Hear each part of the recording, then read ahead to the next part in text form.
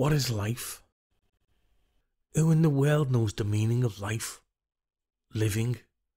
The world is much greater than receiving and giving. When you are young, you learn how to function in life. But at what age do you start to live your life? As our bodies could self heal, maintaining a healthy health line does not compare to what you are battling in the mind. About living, sometimes you think twice and actually focus on what is life. Being in contact with other human interactions help. Human interactions also include being in contact with yourself. Is life finding true love to fulfill fantasies and destinies? Or is it simply being happy, living every moment like your last, Mr. and Mrs. Destiny? Life is a box of chocolates, as they say. But I will disagree any day. Life is like a bird.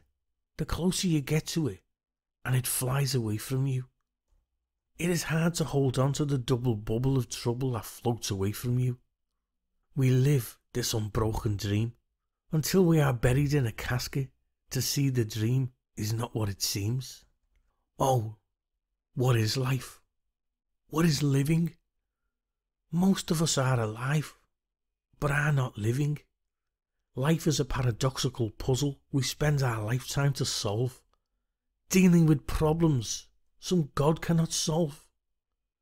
Life is cause and effect, reproducing meaning sex, inner thighs erect, an inspection on perspective, how you view the world, trying to live our dream we had since a boy or girl.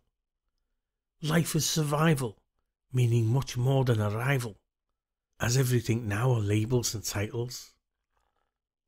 Live until you are drowning in sickness or cancer. Life is ultimately a game of questions and answers.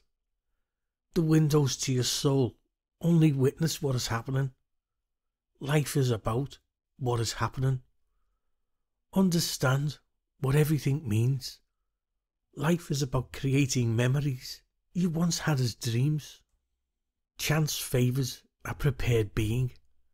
Life is much more than what we are seeing. Life is how you take it. Simply. Life is what you make it. Please answer the question What is life? Poem What is Life by Stephen D. Jackson.